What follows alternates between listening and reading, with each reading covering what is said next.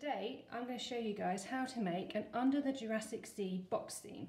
So this is basically a box that I have decorated or covered in a sort of patchwork sea blues and purple colours for under the sea with brown bottom for the sea floor. Now in a bit I'll show you how to make this look even more exciting but this is just the basics for us to get the mechanics right because this is going to be a moving under the Jurassic Sea box.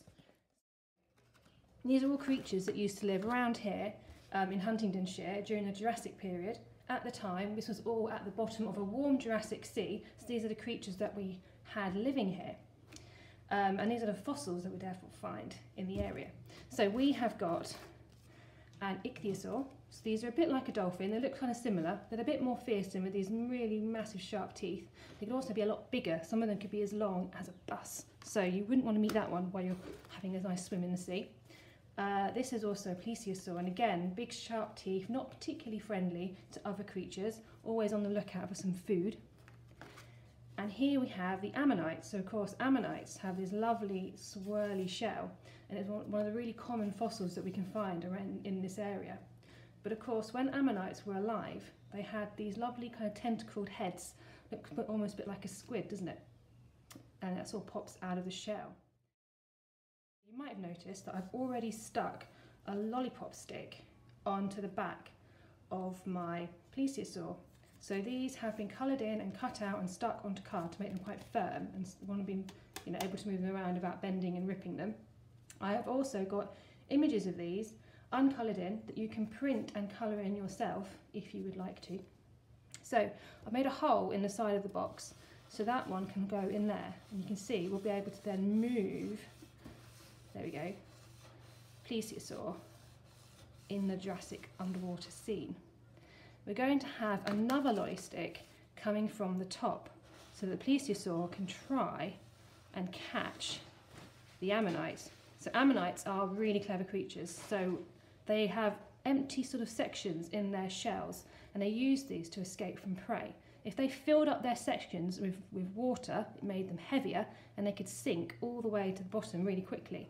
So in comes the plesiosaur, yum yum yum, oh, the ammonites escaped. You can then get rid of the water, replace it with air, squirt it out, and then it'll float back up again to the surface. So that's why the plesiosaur is going to move sideways and ammonite is going to move up and down. How I made the hole was really simple. So I laid them out where I wanted them to be to begin with. So I put my plesiosaur in position and my ammonite is going to be about here. So that when he comes in, it can go up and down. So I've measured from the ammonite, hopefully you guys can see this, um, I measured one and a half inches from the edge of the box and I have drawn on a mark.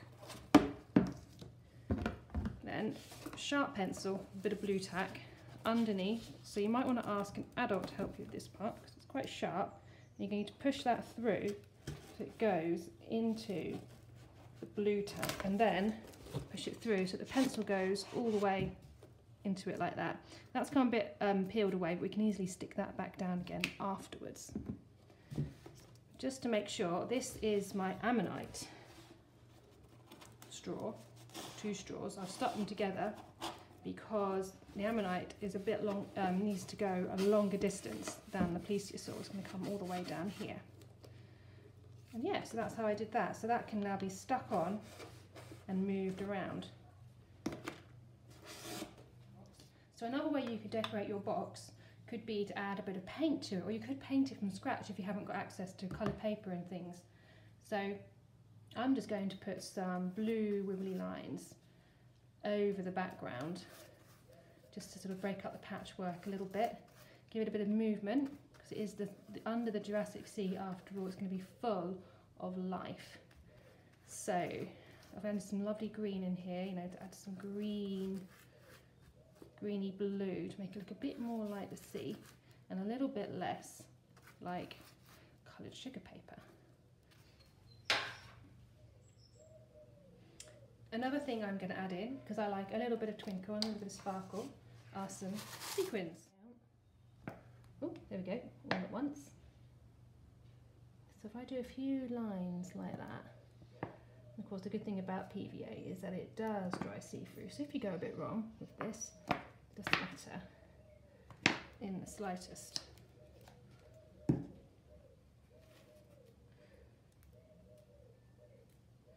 Then I'm going to stick to blues and greens to keep it looking like an underwater scene. A Bit finger painting there as well. Um, also, we can mix in a few colours, different colours, like a bit of a gold there. I think that looks nice.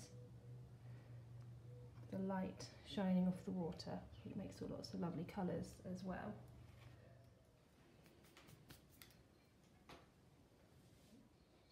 So there we go. Stuck on at the top there. And I quite like actually that his fins and his flippers are sticking up a bit because it makes him look a little bit more 3D and like he might actually be, be moving in the sea with everything else that's going on. I also want to make the bottom of the sea look a bit more exciting as well. So I'm going to get more PVA glue and I'm going to squirt it when I can get out the bottle along the bottom like that. The back. And along this I'm going to stick some cotton wool. Because at the bottom of the Jurassic Sea there wouldn't have been a lot of plant life but there would have been rocks and things like that. So these bits of cotton wool they're going to become rocks before I'm finished today. So a bit more glue, stick that one in the corner. Ooh, box is falling down. That one can go in the bottom there.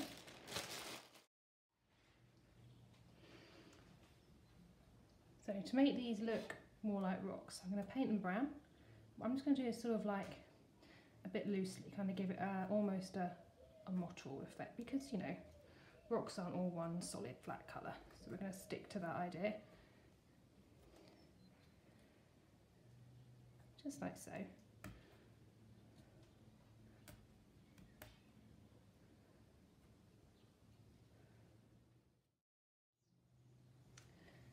So I've got my floor. Now my glue is still there and starting to run a bit so I thought to make the most of the glue that I've squirted out of the glue stick glue bottle, I'm going to also stick on bits of tissue paper. So these are just tissue paper squares, but if you've got big sheets of tissue paper, probably even better actually, because you could rip them up into the size that you want. You could even cover the whole thing in tissue paper if you wanted to, like different colours of it, sort of all squishing around together. Just sticking these in any bit really, where I just feel like actually that glue could be used for something better than just running. So using tissue paper on the top or on the back has also given me the idea of using some on the bottom as well to make the bottom look a bit more exciting. So again, I'm just going to try and do some wiggly lines. A bit too much there again. Wiggly lines with the glue. I'm just going to stick this I'm trying to spread that glue around so now it's wasted. More over there. And a final bit. Just there like that.